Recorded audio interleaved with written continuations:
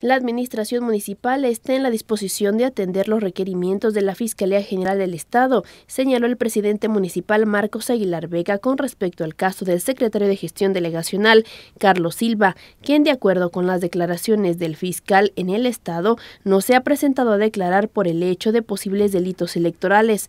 Manifestó que la Fiscalía ha realizado solicitudes por escrito al gobierno municipal, pero todas ellas han sido atendidas de manera inmediata y con información del propio secretario no había sido citado de manera personal. Sin embargo, una vez que se hizo la declaración pública a través de los medios de comunicación, ya se ha realizado el trámite correspondiente para que sea programada la audiencia y pueda llevarse a cabo la declaración correspondiente en su calidad de testigo. Aclaró la importancia de atender el asunto para que no se preste a especulaciones y menos de carácter político ante un proceso electoral. Esto es muy importante eh, mencionarlo la disposición del gobierno municipal ah, ante esta eh, circunstancia es de completa colaboración y no debe existir ninguna especulación al respecto. Hay la mejor y mayor disposición para que se dé respuesta a cualquier eh, solicitud que formule la Fiscalía. Informó que a través de las áreas jurídicas se ha realizado el trámite para que sea programada la audiencia correspondiente